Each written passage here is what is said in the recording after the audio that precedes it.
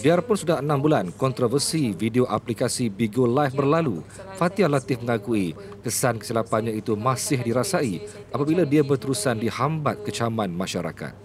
Kesan insiden itu, Fatia berkata, pernah pada satu tahap dia berasa jiwanya seperti mati hingga sanggup bertindak memalukan diri. Namun bersyukur kerana Allah segera menegurnya supaya tidak terus hanyut pelakon yang melonjak popularitinya menerusi drama Ariana Rose, dia isteri luar biasa dan plan cinta tak jadi itu berkata dia sudah insaf dan bertekad meninggalkan perbuatan yang menghancurkan hidupnya. Sebab ya tak tahu ya ingat dia orang ingat apa yang pada macam rasa orang semua baik pada rasa macam tak ada dan tak ada salahkan diri kata jugalah maksudnya mungkin daripada apa yang kata buat diri kita ni pun kita jangan jadi bodoh lah untuk nak percaya je semua. Kena fikir eh, sebelum buat tu macam fikir, fikir dan fikir. Jangan main buat je semua benda. Kat dunia ni kita kena macam hati-hati. Especially macam jangan memudaratkan diri sendiri. Fikir untuk kebaikan diri sendiri juga. Orang semua macam bisa rokok. Jangan jangan buat benda yang tak elok lah macam tu. Rasa masalah yang terlalu besar dalam hidup sampai ya jiwa ya kacau. Tak boleh nak settle benda ni. Sebab ya salah pilih kawan yang terlampau ikut cakap kawan. Dia rasa macam kawan lah yang akan cakap kita benda betul. Dia orang tak ada tak ada uh, dia orang dia salah pilih kawan lah. Tu masalah ya.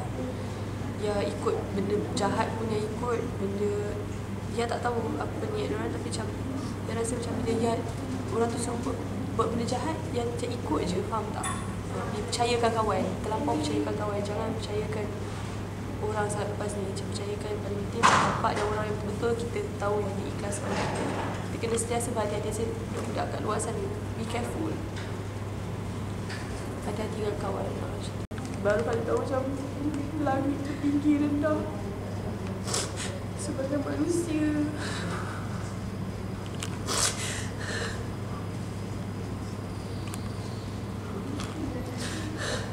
Jangan rasa macam jangan rasa macam kita orang ni artis hidup kita orang ni senang.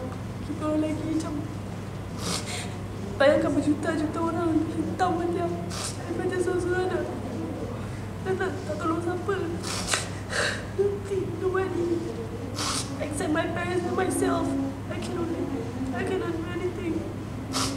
Tu je nak cakap. Dan hati-hati lah pilih kawan tu tak semestinya kita tak kawan kat cakap teruk eh